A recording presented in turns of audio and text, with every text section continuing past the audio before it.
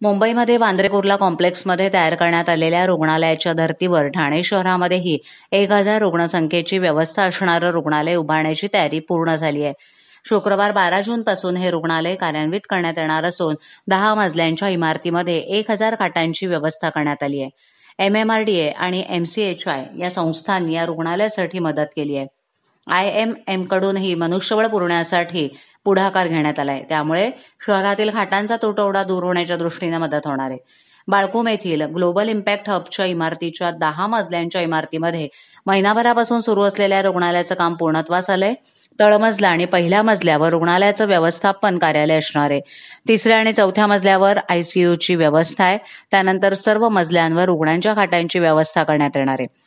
डॉक्टरांसाठी विलगीकरण व्यवस्था जेवण आणि वाहतुकीची व्यवस्था केली जाणार आहे. तसंच येथील कर्मचाऱ्यांना विमा संरक्षणही देण्यात येणार आहे. याशिवाय पालिकेकडून रुग्णालयांमध्ये व्यापक मनुष्यबळाच्या व्यवस्थेच्या दृष्टीनं भरती प्रक्रिया राबवण्यात आली आहे. त्यामुळे मनुष्यबळाची अडचण येणार नसल्याचं पालिका प्रशासनाचं म्हणणं आहे. शुक्रवारपासून ही व्यवस्था कार्यान्वित झाल्यानंतर शहरातील करोना रुग्णांना व्यापक प्रमाणात उपचार मिळू शकणार आहेत.